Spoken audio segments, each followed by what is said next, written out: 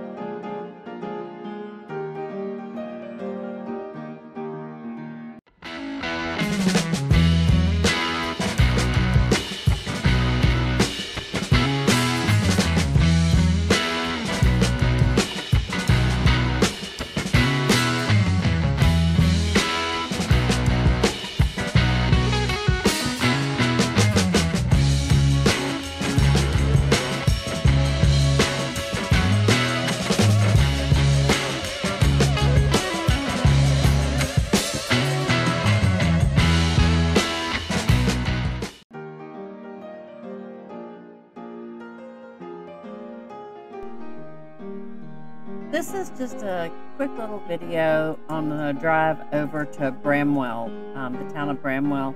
And it's a pretty interesting little story. I even bought the book at um, the corner soda shop that tells all about Bramwell. I haven't had a chance to go through all the way through it, but it has some amazing history and it's a cool little town. So we're leaving Buffalo Trail. We're going to go get fuel and head over. So the history of Bramwell is that it was, um, or the basic history, is it was established in 1888 by J.H. Bramwell. Um, it sprang to power and became one of the richest towns in the state or in the in the country. Um, it was known Bank of Bramwell was the financier financial center for Southwest um, for southern West Virginia during the coal mining industry. So it was really big time during the coal mining boom.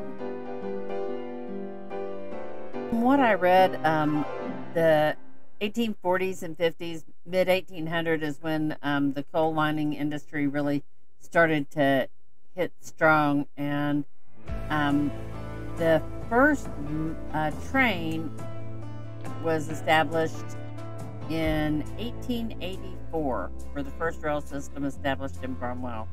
So it's the first and oldest incorporated town in Mercer County.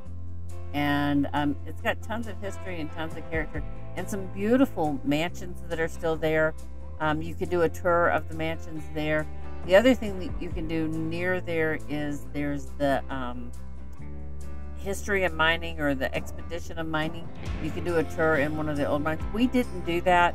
We've done mining tours in Colorado and in several other places. So we decided to pass on it at least for this time. Um, but in this video, we're taking the drive from the back way. You can run up 52, you know, right up into um, Bramwell, and it's legal to ride on the roads here in this area. So you could do that. Um, it's just so busy on that main road with the big, trucks that I think it's fun to drive some of the back roads. So we're taking some of the back roads. You still have to be cautious.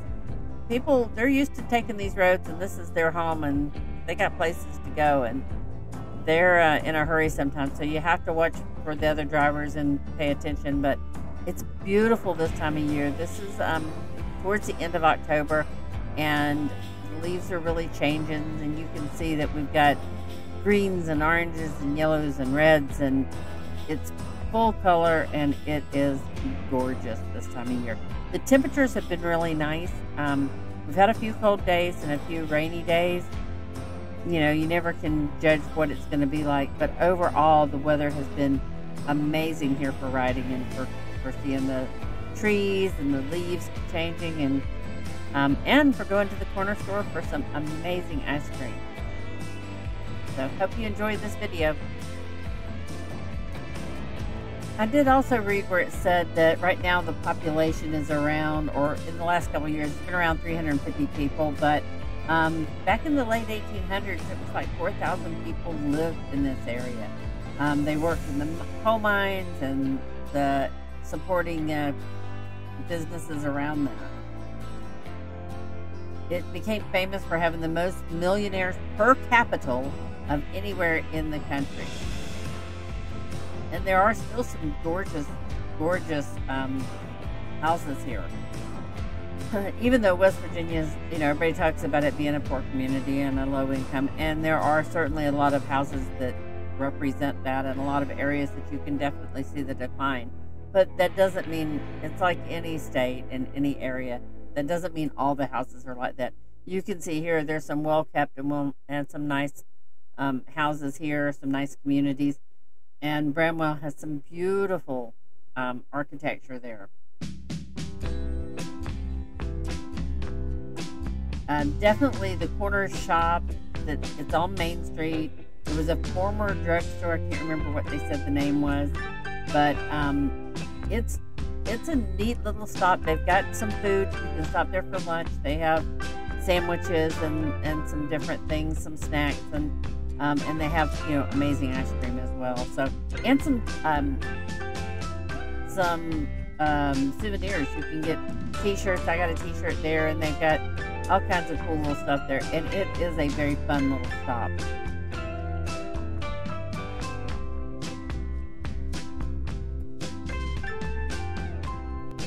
I also read where it said that there were 17 millionaires, which is the highest per capita uh, population of rich folks in the nation at the time. And that at, at their peak, they had 14 trains a day stopping here, um, stopping at Bramwell uh, along the Norfolk and Western Railway line. They said that um, they would haul bags of money with using a wheelbarrow from the train station, which is just kind of crazy. They're, the style of the homes are uh, Victorian or Tudor style, European cultural um, homes, which know, kind of seems a little out of place in the Appalachians, but it is they're incredible, well maintained homes, and still, um, you know, still you can do the tours today. I think they said there's something like fifteen dollars a person to go on the tour, but um, like we didn't do that either. We should have. We just just didn't. It just didn't happen this time. But if we go back, I'd certainly like to do that. One other thing to note on these roads, um, most of these back roads, it's fine to ride on with the side by side, um, and you can ride, you know, a lot of the area on it. But you do have to pay attention. There are some signs. You'll see a sign up that says no UTVs or side by sides past this sign or in this direction, or it'll say UTV route. Um, and you want to make sure you honor that and respect that. I mean, these people live here and it's their home, and we want to respect their wishes. And if there's an area that they don't want side by sides, then I certainly want to respect that. When you go into town and go to Main Street, um, there we park in this video, you'll see us park behind the corner store. Um, there is a, another parking lot on down the road from that, but that's the area where you do have to kind of watch. There's several signs that say they don't want you going back in their neighborhoods, I guess, um, and and rightly so. I mean, it gets noisy, and I can see why you have your kids out there playing. You don't want a bunch of crazy UTVers running past your house. So, um, just pay attention to the signs and respect their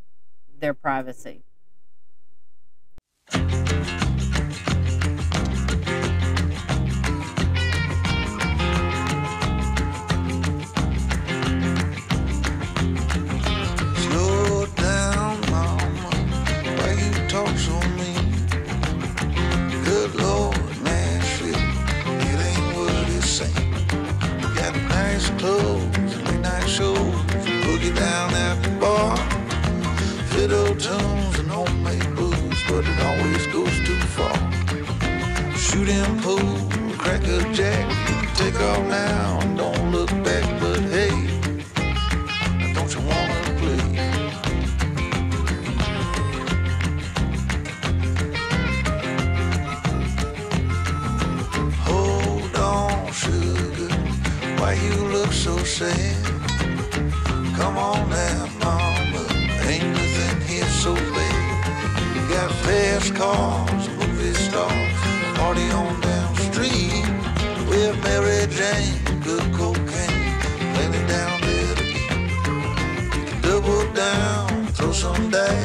take off now. Don't think twice, but hey, now don't you wanna play?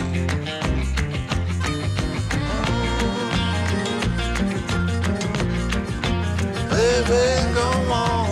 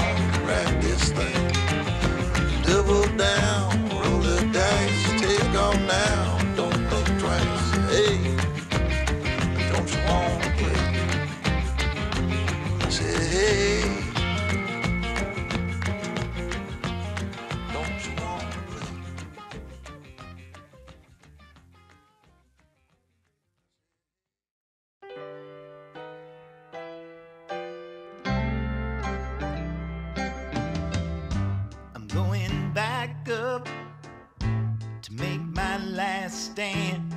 I'm gonna dust it off with my own.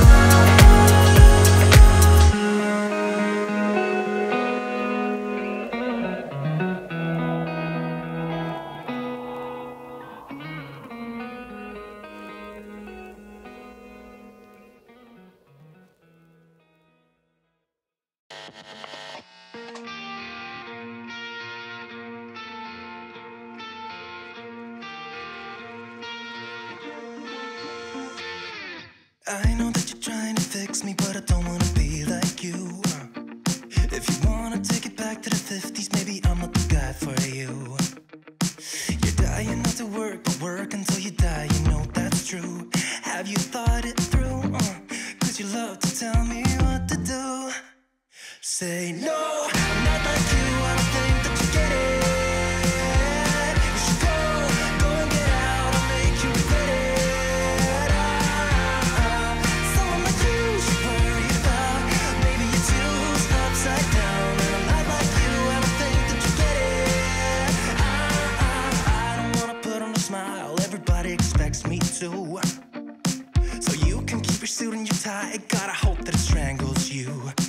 I do. You buy shit you don't need to impress the ones you hate. That's so up. Cause everything you own just ends up owning you. So, dear society, you suck. Say no,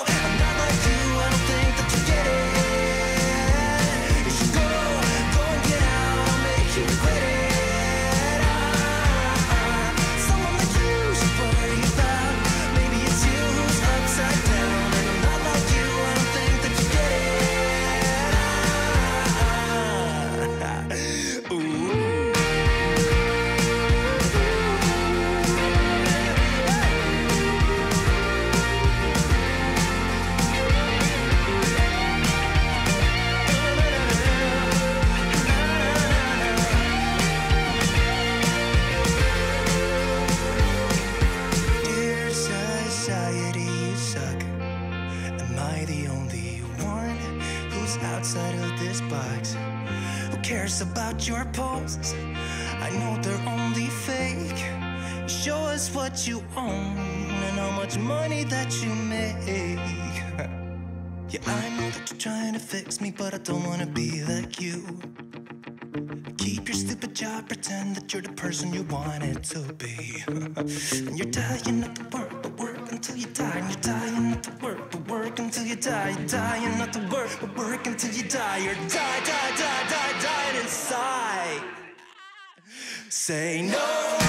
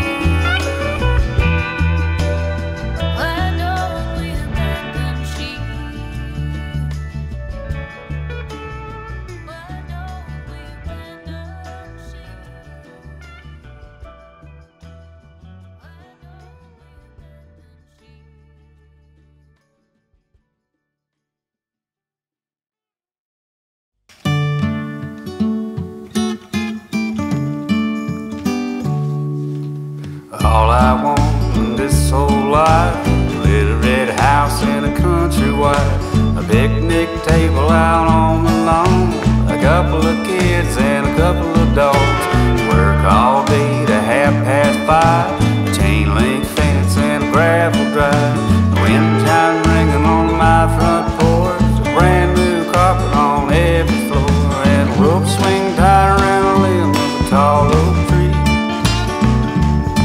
It don't sound like much, but it sure is heaven to me.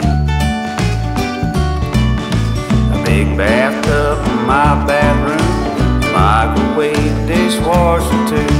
The folks say hi when they pass on the street, a clean pair of socks every day of the week big soft chair. But when I'm old Tackle box and a fishing pole. I don't care about the fortune if I ain't my